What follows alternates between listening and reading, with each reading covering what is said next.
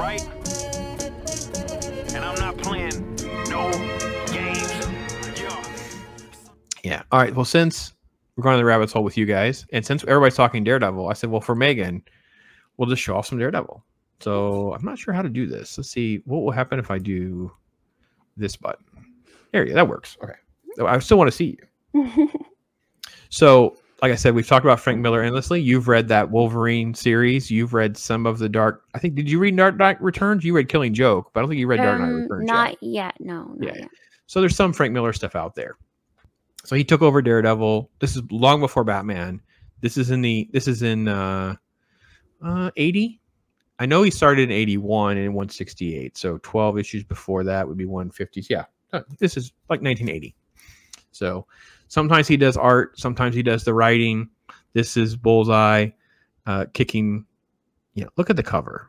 You know, very dynamic, very dynamic. So these are some of those. I'll go through some of them quickly, but then I'll point out a couple of where the treasures come into play. By the way, some of you have asked me about the little barcode, why there's a barcode versus well, these are both have barcodes. This one does not have a barcode. So perfect. So this one does not have a barcode. Hmm. Newsstand. It's called newsstand right there. So this was in like a grocery store or a, a marketplace that gets scanned, whereas this is considered direct, which would go to a store or somebody's house there's a premium on these for certain grades because it's harder to find them. Because if they're in a store, they're being manhandled, right? People pick them up, bend them over.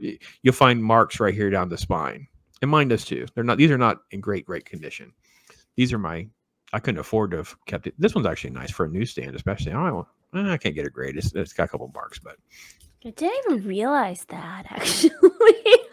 no, no, yeah, it's all sorts of crazy things that to come in. now I'm gonna like look on all my. and that was kind of a non-issue for years. People would debate it because there was this company in Colorado, and they were the one one of the first ones that kind of added a premium price for their newsstand issues, and it was like, no, no, no, no. That a lot of the a lot of the collectors were like, no, and I just as I kind of was going through it, I started to realize, you know, I think they may be right because I don't see any newsstand ones that are in any good condition. So I would kind of look for some newsstands, things like.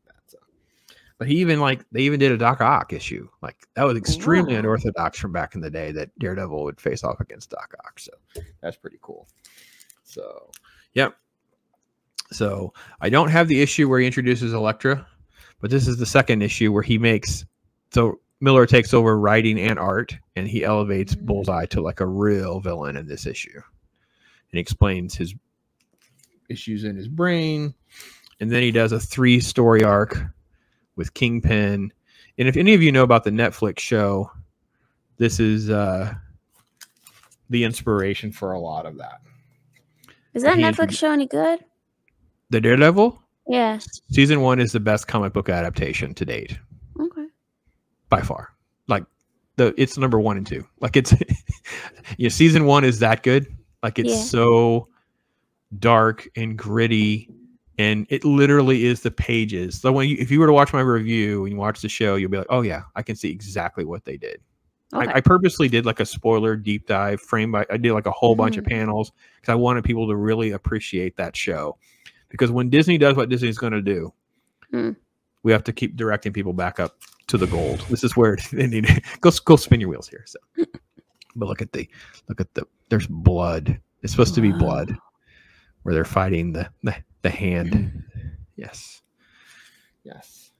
So let me jump a few because I have so many. When we get to this issue, the issue that made me cry. Hmm. I didn't know. I didn't know it was going to happen. yeah. I was shocked. I cried a little bit, I think. I definitely was emotional about it. You admitted it too. Look, that's how I felt. That's how I felt. Dang. And then they come up with they come up with issues like this that make you feel just about as emotional, even though he just that's not exactly how it plays out. But look at that Punisher. Wow. Yeah. they bring Punisher into the TV show in season two, and, and Jon Bernthal's Punisher is fantastic. So, but just the covers are incredibly dynamic and interesting. Um, they just make you want to buy comic books. There's so Oh, much yeah. action and motion, and you know. And then we get some stuff I think that you would enjoy. I know you've already become fond of Wolverine. Mm. You get Wolby DD crossovers for an issue here. Let's see, not those. Let's see. Uh, trying to make sure they don't fall over. It's sneaky because they'll stick it like this, so they kind of hook you. Oh. Wolverine, like in here, like wait a minute, wait, Wolverine's in it, and then like the part two is, is even better. You're like, oh, Oh. yes, it is. Oh my gosh, yeah, Wow. yeah, I I know. love that cover. Isn't that beautiful? So yeah, that's uh and this is one I would highly recommend for any of you that want something that's not super expensive. Man Without Fear. Frank Miller does a like a little mini series. It's five parts. And he basically stays in line with with the bigger story and redoes the origin story and and kind of the journey and some of that kind of stuff. And you can get a five part somebody might have a bundle and or you'll get a graphic novel relatively inexpensive it shouldn't be very very much so yeah i would uh i would say those are all good good ways to get into it so but you haven't read daredevil yet have you No, I haven't. Yeah yeah But those look fantastic. it's kind of like well it's marvel's batman in a lot of ways So, i mean different powers but it's like it's a real dude it's street crime there's cool villains but then it's like after this issue then we'll have like a crime story where it's just like street crime and then oh wait back to so and so's out of jail or whatever so it's really much it's very similar and i think that's why i was just i was lucky too because i kind of was drawn to both Mm. so soon Mhm. after one another and that was my that was my thing so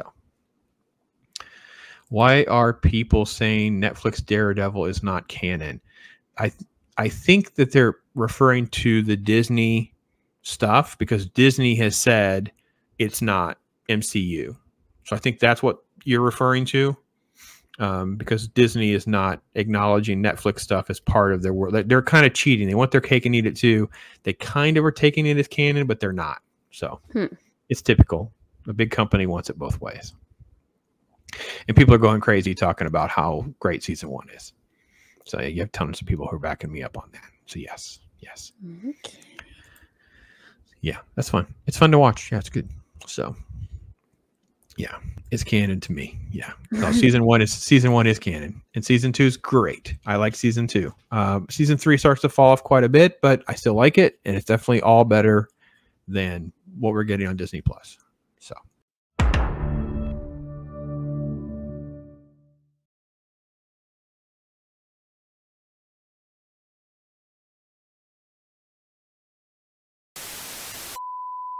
I mean, this is going to make E.T.